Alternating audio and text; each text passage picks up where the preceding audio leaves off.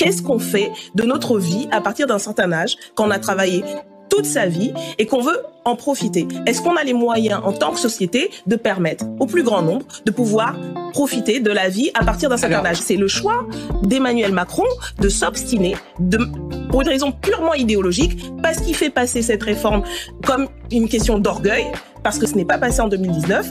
Et voilà, c'est son deuxième mandat, il faut qu'il y aille. Je ne sais pas euh, sur quelle planète vit Emmanuel Macron, parce que de toute évidence, c'est lui qui est euh, perdu dans cette espèce d'ubris là de vouloir absolument faire passer en force euh, sa, réforme. Nous, on a une boussole, on a des propositions, et, je pense qu'il est, est complètement hors sol. Je crois qu'il y a, y compris une forme de mépris quand même de l'expression très très majoritaire dans le pays. On a un président Fabien qui euh, ne n'entend pas, on ne veut pas entendre et euh, se pense un peu au-dessus de tout ça. Et je pense qu'il va redescendre vite sur terre euh, une fois qu'il y aura un rapport de force qui